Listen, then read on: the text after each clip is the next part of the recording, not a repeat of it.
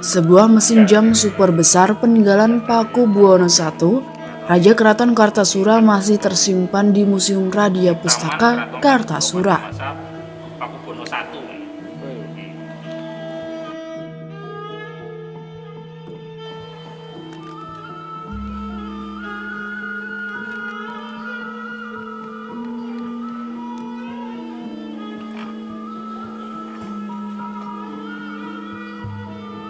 Mesin jam yang disebut jam panggung ini ada sejak tahun 1740-an. Mesin jam kuno ini merupakan peninggalan dari Keraton Surakarta.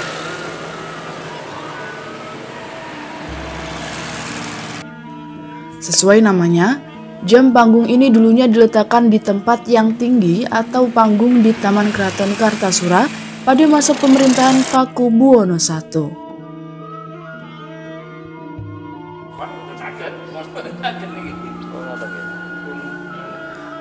Selain menyimpan mesin jam panggung, di museum yang didirikan pada masa pemerintahan Paku Buwono IX ini juga menyimpan banyak koleksi benda kuno lain.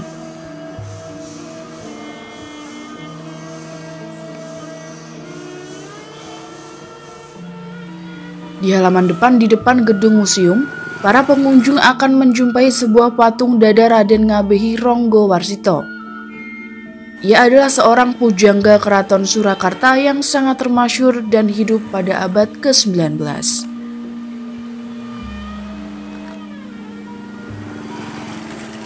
Patung ini diresmikan oleh Presiden Soekarno pada tahun 1953. Lalu di Serambi Museum ada beberapa meriam beroda dari masa VOC yang berasal dari abad ke-17 dan ke-18. Sementara itu ada pula beberapa meriam-meriam kecil milik Keraton Surakarta. Selain itu terdapat pula beberapa arca-arca Hindu-Buddha. Antara lain terdapat arca Roro Jonggrang yang artinya adalah perawan tinggi namun sebenarnya adalah arca Dewi Durga.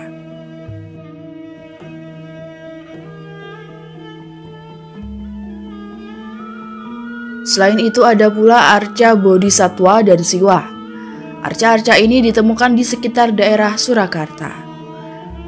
Museum Radia Pustaka memiliki koleksi yang terdiri dari berbagai macam arca, pusaka adat, wayang kulit, dan buku-buku kuno.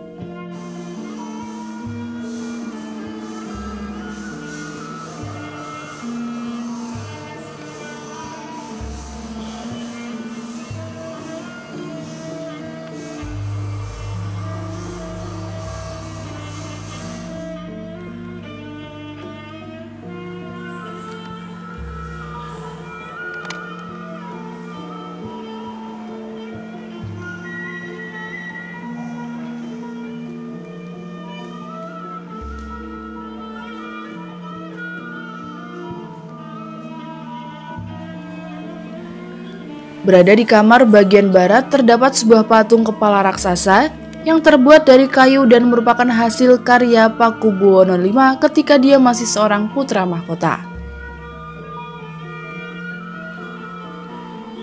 Patung tersebut jumlah sebenarnya adalah dua, yang satu lainnya disimpan di Keraton Surakarta.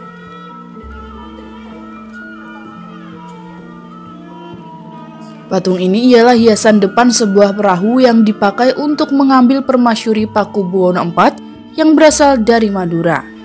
Sampai sekarang patung ini masih dianggap keramat dan sering diberi sesajian.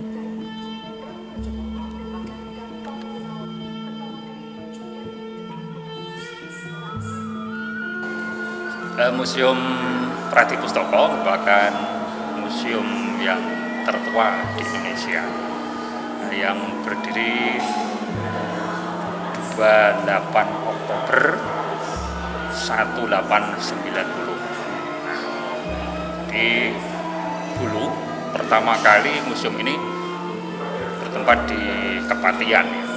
Kepatian yang mendirikan mendiang KRA Sosro Tingkrat keempat yaitu Kepatih Dalam pada masa ingkang siniwun Pakubono yang ke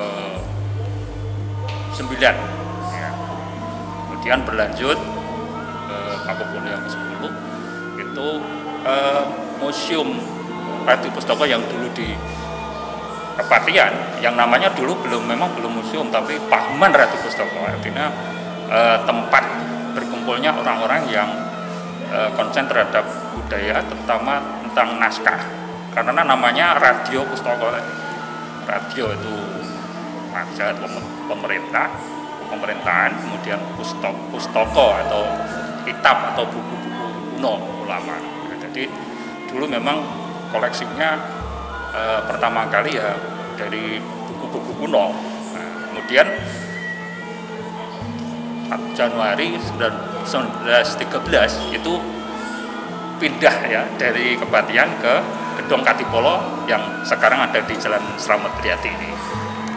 Menyimpan koleksi berupa apa saja Pak? Ya, di samping menyimpan naskah-naskah kuno, eh, Museum Ratu Pustaka juga museum yang ya ini bukan museum khusus, tapi museum umum.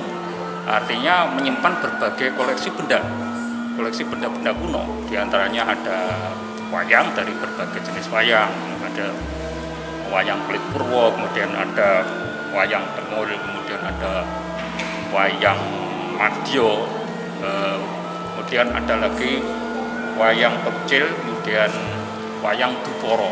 Nah, dari wayang Bali pun ada juga. Gitu.